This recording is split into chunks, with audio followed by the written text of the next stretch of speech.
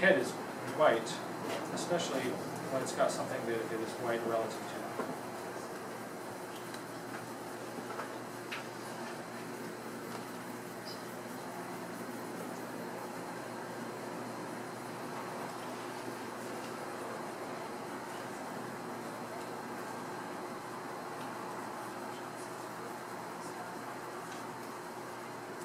to it.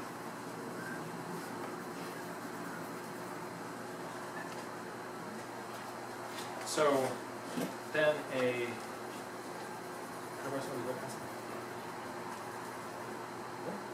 Um, by having this part be dark, um, then the white of that head will, will pop out relative to that.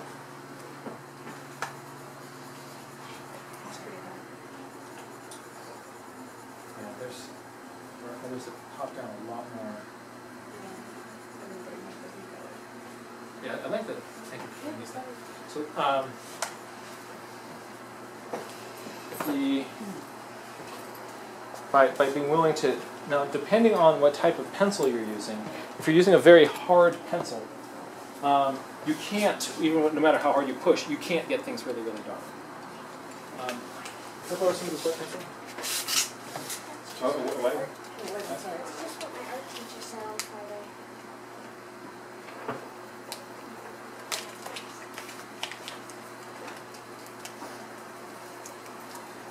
Thank you. Like that, what you just said about the pencil, if you have a dark pencil and if it, and then if it gets really dark, you don't get like that's easy, exactly what my art teacher said. Yeah, I, I would agree with your art teacher. You tell them that you got some backup for that idea. So how would you background that with the white head and the dark eyes? So what I would do with this is I would background it by having the background be the color of the paper. Mm-hmm. Right? And so maybe my three values are here, one, two, three. Keep it really simple. And I might also use the color of the paper to be the beat.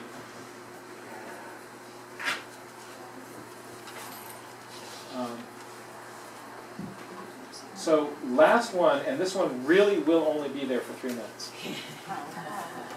Um, and yeah, because then I've got a couple of other things to, to, to show you, but this is the, the last sort of colored pencil. But with this, these two. Wait, out here. I um, sure. Um, once she's done.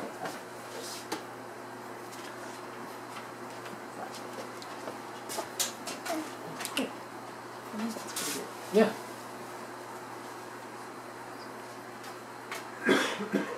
I like it. It's, it's got the, the, the, and the proportions are right on it also. Right? That works.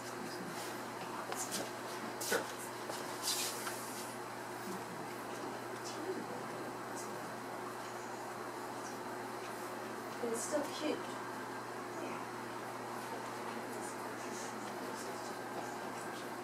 Yeah. You think this is summer or winter? winter? Because you've got dead trees in the background or bare trees. And then the sky, yeah, looks really fluffy.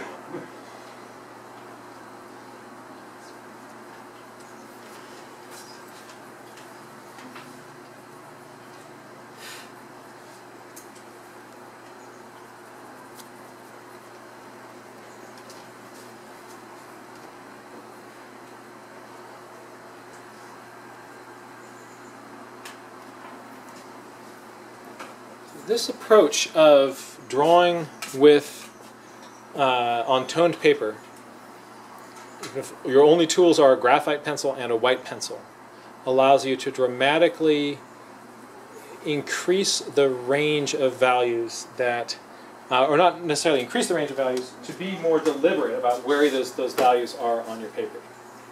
Um, to make a choice, it's fun to be able to choose where you want to pull the lights.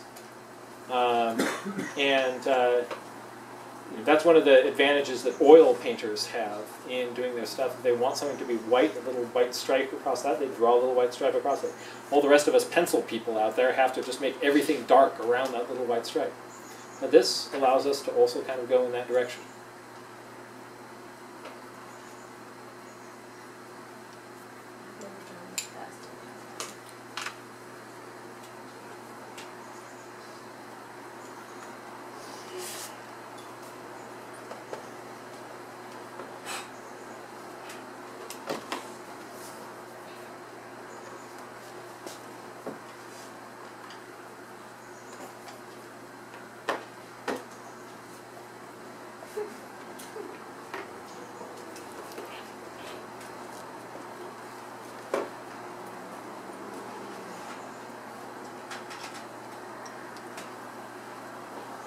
If you do like brown paper, uh, you might want to get yourself a brown Verithin pencil.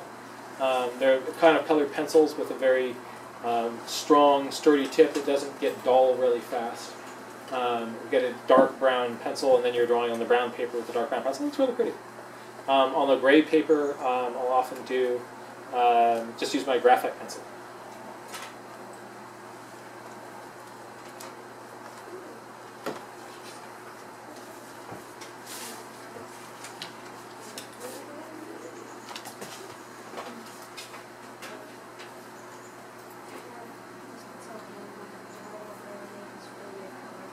Yeah.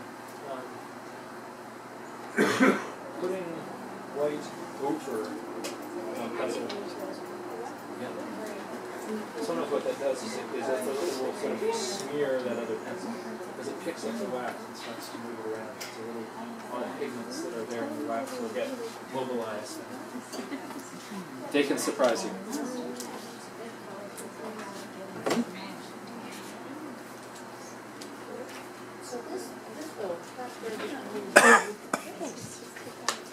Oh! oh, I'm going to make a lot of enemies this way. Um, No, it's wonderful. so, um, so here's a couple of thoughts. One, practice. Play with these ideas. Um, you can either get some pictures of raptors off the web. Um, again, seenbirds.com is the website of Ashok Khosla, uh, who's one of our nature sketching people. Uh, he's got a lot of raptor pictures on there. Um, you can visit zoos. Uh, San Francisco Zoo has a lot of raptors. Also, rehabilitation centers such as Wild Care or the in, in Walnut, on Walnut Creek. There's the Lindsay Wildlife Museum. They've got all these birds who are not going to be able to fly again, and um, you can draw them. Um, and right now is an amazing time to be drawing and sketching birds in the Bay Area, uh, raptors especially. The migration is coming right through, and uh, you can take advantage of that. As winter rolls in, there's also going to be a whole bunch of uh, raptors nesting, or not nesting, but uh, spending the winter up in the Sacramento Valley. And so you can go bob around on the wildlife refuges there. It's like every bush has its raptor. And all the voles out there. all right. So we have 10 minutes left, and in that time, I want to take you through a few of the little detail points about raptors. And, um, but what I don't want you to do is think that th- th- this comes intentionally at the end because I thought we may not have time for this, and it's less important than the values and the basic shape. But we often get really, really, really excited about and overemphasize the details, and that can kill a drawing. So remember those those those um, some of those those hawk drawings I did. There was just like a little line, and that was the whole beak.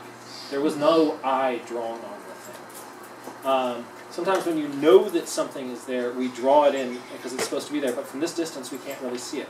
My general rule of thumb is if I can't really see it from back here, I don't draw it. So um, let's take a look at some details, starting with the, the, the head of the bird. Um, so beaks are really, really cool. We've already talked about how we've got a tendency to exaggerate it and go overkill. So you have these big toucan beaks that everybody draws on their raptors. Be uh, aware of that and, and avoid that problem. The beaks has, has a few different interesting parts. There's the hard black part at the end with the hook on it there is in towards the face a piece of an area with sort of soft skin covering the outside of it that um, often is bright yellow, and that can go back into a little corner of the mouth, making a little wedge back towards the eye. The nostril is located in that little section there. The eye may be closer to the front of the face than you would expect, so look at that distance on your bird. It's a good idea to compare this distance with that distance on the bird that you're actually looking at. That's easier on a photograph, harder on a bird in the field that's doing that. The eyes bear a little bit of mention. A lot of raptors have a little shelf over their eye that partially shades their eye. It's like having a little visor like this. And that's what gives them that serious kind of mean, intense look. And so what a lot, uh, so you can see that here. Notice how that casts a shadow down over the eye? I think the best way of suggesting this with your bird eye, if this is my, my, my, my bird eye, um, the way we see that is as a shadow over that part of the eye. Um, I find that's a lot better than drawing a little line